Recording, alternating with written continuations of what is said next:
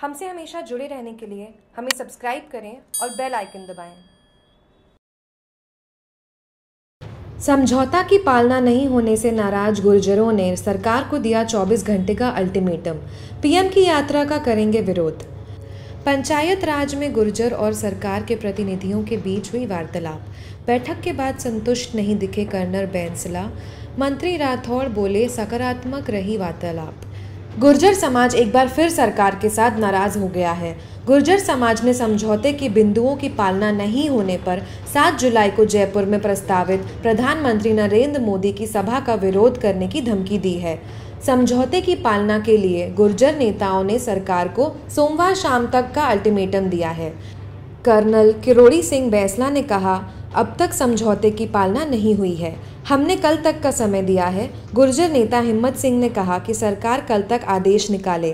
कल शाम पाँच बजे तक आदेश नहीं निकाले तो हम पीएम की सभा का विरोध करेंगे। गुर्जर नेता एडवोकेट शैलेंद्र सिंह ने कहा कि समझौतों की बिंदुओं की पालना नहीं हुई है। वे बैठक से संतुष्ट नहीं हैं और मंत्री ने कहा कि वार्ता सफल रही। जयपुर से जागरूक टीवी की रिपोर्ट।